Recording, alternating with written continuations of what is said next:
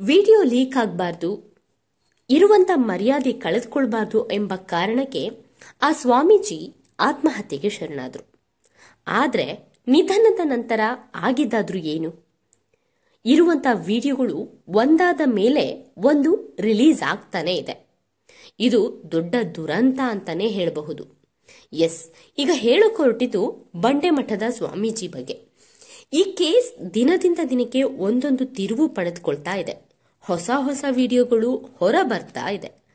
ಈ ವಿಡಿಯೋಗಳನ್ನು ನೋಡ್ತಾ ಇದ್ರೆ ಸ್ವಾಮೀಜಿಗೆ ಸಂಬಂಧಿಸಿದಂತ ಇನ್ನಷ್ಟು ವಿಡಿಯೋಗಳು ಇರುವುದಂತೂ ಖಚಿತವಾದಂತಿದೆ. ಯಾಕಂದ್ರೆ ಈಗಾಗಲೇ ಎರಡು ವಿಡಿಯೋಗಳು ರಿಲೀಸ್ ಆಗಿದೆ. ಈ ವಿಡಿಯೋ ಹಿಂದೆ ಇರುವಂತ ಕೈವಾಡಗಳನ್ನ ಗಮನಿಸ್ತಾ ಹೋದ್ರೆ ಇನ್ನಷ್ಟು ವಿಡಿಯೋಗಳನ್ನ ಅವರ ತೆಕ್ಕೆಯಲ್ಲಿ ಇಟ್ಕೊಂಡಿರುವುದು ಕನ್ಫರ್ಮ್ ಆಗಿದೆ. ಅಷ್ಟಕ್ಕೂ ಸ್ವಾಮೀಜಿ ಆತ್ಮಹತ್ಯೆ ಮಾಡಿಕೊಳ್ಳುವಂತ ಮನಸ್ಥಿತಿ ಯಾಕೆ ಬಂತು?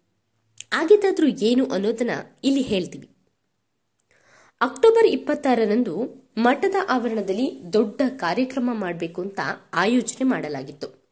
ವಿದ್ಯಾರ್ಥಿ ನಿಲಯ, ಪ್ರಸಾದ ನಿಲಯ ಹಾಗೂ ಅತಿಥಿ ಗೃಹ ಕಟ್ಟಡದ ಶಂಕುಸ್ಥಾಪನೆಗೆ ಸಿದ್ಧತೆ ಕೂಡ ನಡೆಸಲಾಗಿತ್ತು. ಅಂದೇ ಈ ವಿಡಿಯೋಗಳನ್ನ ವೈರಲ್ ಮಾಡೋದಕ್ಕೆ ಹನಿ ಟ್ರ್ಯಾಪ್ ಗ್ಯಾಂಗ್ ಪ್ಲಾನ್ ಮಾಡಿಕೊಂಡಿತ್ತು.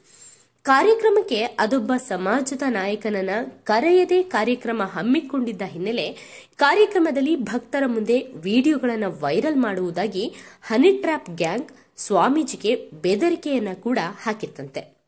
ಜೊತೆಗೆ ಕಾರ್ಯಕ್ರಮದ ಮೊದಲೇ ಇನ್ನಷ್ಟು ಮಹಾ ಕೆಲಸಗಳನ್ನು ಕೂಡ ಮಾಡಿದೆ. ಕೆಲ ಮಠಾಧೀಶರು, ವೀರಶೈವ ಸಮಾಜದ ಮುಖಂಡರುಗಳ ಮನೆಗೆ ಸಿಡಿಗಳನ್ನ ಈ ಗ್ಯಾಂಗ್ ಅದಾಗಲೇ ಕಳಿಸಿತ್ತಂತೆ. ಇದರಿಂದ ಆತಂಕಕ್ಕೆ ಒಳಗಾದ ಸ್ವಾಮೀಜಿಗಳು ಕಾರ್ಯಕ್ರಮ ನಡೆಯುವ ಮೊದಲೇ, ಅಂದ್ರೆ ಎರಡು ದಿನ ಮುಂಚೆ ಅಕ್ಟೋಬರ್ ಇಪ್ಪತ್ನಾಲ್ಕರಂದು ಸ್ವಾಮೀಜಿ ಆತ್ಮಹತ್ಯೆ ಮಾಡಿಕೊಂಡಿದ್ರು. ಸದ್ಯ ಈ ಕೇಸ್ ರಾಮನಗರ ಪೊಲೀಸರು ತನಿಖೆ ನಡೆಸ್ತಾ ಇದ್ದಾರೆ. ಸ್ವಾಮೀಜಿಗಳನ್ನ ಹನಿ ಟ್ರ್ಯಾಪ್ ಮಾಡಿರುವುದು ಈಗ ವಿಡಿಯೋಗಳಿಂದ ಬಹಿರಂಗವಾಗಿದ್ದು, ವಿಚಾರಣೆಯನ್ನ ತೀವ್ರವಾಗಿ ನಡೆಸುತ್ತಿದ್ದಾರೆ ಅಷ್ಟಕ್ಕೂ ಸ್ವಾಮೀಜಿಗಳಿಗೆ ಈ ರೀತಿ ಕೆಡ್ಡಾಕೆ ಕೆಡವಿದವರು ಯಾರು? ದುಷ್ಟ ಜನರ ಕೈಗೆ ಮರ್ಯಾದೆಗೆ ಅಂಜಿ ಆತ್ಮಹತ್ಯೆ ಮಾಡಿಕೊಂಡ ಸ್ವಾಮೀಜಿಯವರ ವಿಡಿಯೋಗಳು ನಿಧನದ ಬಳಿಕ ವೈರಲ್ ಆಗಿದ್ದು ಹೇಗೆ? ಆದರೂ ಕೂಡ ಈ ರೀತಿ ಆಗಿದ್ದು ಸ್ವಾಮೀಜಿಗಳ ದುರಂತವೇ ಸರಿ ಅನ್ನೋದು ಎಲ್ಲರ ಮಾತು. ಪೊಲೀಸರು ತನಿಖೆನ ಚುರುಕುಗೊಳಿಸಿದ್ದಾರೆ. ಬಂಡೆ ಮಠದ ಸ್ವಾಮೀಜಿ ಆತ್ಮಹತ್ಯೆ ಕೇಸ್ಗೆ ಬಿಗ್ ಟ್ವಿಸ್ಟ್ ಕೂಡ ಸಿಕ್ಕಿದೆ. ನಿನ್ನೆಯಷ್ಟೇ ಸ್ವಾಮೀಜಿ ಅವರ ಜೊತೆ ವಿಡಿಯೋ ಚಾಟ್ ಮಾಡಿದ್ದ ಮಹಿಳೆಯ ವಿಡಿಯೋ ಈಗ ಬಿಡುಗಡೆಯಾಗಿದೆ. ಇದು ಹನಿ ಟ್ರಾಪ್ ಮಾಡಿದ್ದ ಮಹಿಳೆಯ ಫೋಟೋ ಕೂಡ ಲಭ್ಯವಾಗಿದೆ. ಮತ್ತೊಂದು ಕಡೆ ಸ್ವಾಮೀಜಿ ಅವರಿಗೆ ಹನಿ ಟ್ರಾಪ್ ಮಾಡುವುದರಲ್ಲಿ ಭಾಗಿಯಾಗಿದ್ದ ಇನ್ನೋರ್ವ ಸ್ವಾಮೀಜಿಯ ಸುಳಿವು ಕೂಡ ಸಿಕ್ಕಿದೆ. ಅಂದ್ರೆ ಸ್ವಾಮೀಜಿಯವರನ್ನ ಹನಿ ಟ್ರಾಪ್ ಮಾಡಿ ಅವರನ್ನ ಬ್ಲ್ಯಾಕ್ ಮೇಲ್ ಮಾಡೋದಕ್ಕೆ ಇನ್ನೊಬ್ರು ಸ್ವಾಮೀಜಿ ಇದರಲ್ಲಿ ಇನ್ವಾಲ್ವ್ ಆಗಿದ್ದಾರೆ ಅನ್ನೋದು ಗೊತ್ತಾಗ್ತಾ ಇದೆ. ಸದ್ಯ ಪೊಲೀಸರ ತನಿಖೆ ಮತ್ತಷ್ಟು ಚುರುಕುಗೊಂಡಿದೆ. ಎರಡನೇ ವಿಡಿಯೋ ಕೂಡ ಗುರುವಾರ ಲೀಕ್ ಆಗಿದೆ. ವಿಡಿಯೋದಲ್ಲಿ ಕೆಲವು ದೃಶ್ಯದ ವಿಡಿಯೋ ತೋರಿಸಿ ಅದರಂತೆ ಮುದ್ದಾಡೋಣ ಎಂದು ಮಹಿಳೆಗೆ ಹೇಳುವ ದೃಶ್ಯಗಳು ಆ ವಿಡಿಯೋದಲ್ಲಿವೆ. ಎರಡು ಮೊಬೈಲ್ ಬಳಕೆ ಮಾಡುತ್ತಿದ್ದ ಬಸವಲಿಂಗ ಸ್ವಾಮೀಜಿ ವಿಡಿಯೋಗಳನ್ನು ಒಂದು ಮೊಬೈಲ್ನಲ್ಲಿ ತೋರಿಸಿ ಮತ್ತೊಂದು ಮೊಬೈಲ್ನಲ್ಲಿ ವಿಡಿಯೋ ಕಾಲ್ ಮಾಡಿದ್ದಾರೆ. ಪ್ರಕರಣಕ್ಕೆ ಸಂಬಂಧಿಸಿದಂತೆ ಈಗಾಗಲೇ ಮೂವರು ಮಹಿಳೆಯರನ್ನ ಪೊಲೀಸರು ವಿಚಾರಣೆ ಮಾಡಿದ್ದಾರೆ.